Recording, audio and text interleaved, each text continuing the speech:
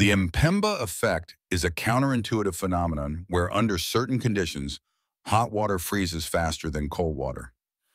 This puzzling effect was named after Erasto Mpemba, a Tanzanian student who observed in the 1960s that hot ice cream mix froze faster than cold mix.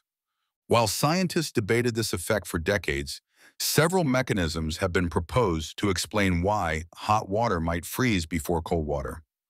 One explanation involves evaporation. Hot water loses mass through steam, leaving less water to freeze and potentially accelerating the process. Another theory suggests that convection currents in hot water distribute heat more efficiently, creating more uniform cooling throughout the liquid. Hot water typically contains fewer dissolved gases than cold water, as heating drives these gases out, potentially changing the freezing dynamics. Cold water can experience supercooling, remaining liquid below freezing point, while hot water might begin crystallizing at the expected freezing temperature.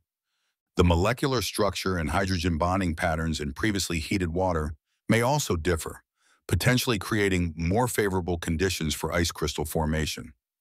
Despite numerous studies, the Mpemba effect remains somewhat controversial as it depends on specific initial conditions and isn't always reproducible in controlled experiments. The Mpemba effect reminds us that even seemingly simple phenomena, like water freezing, can harbor complex and counterintuitive physics that continue to challenge our scientific understanding.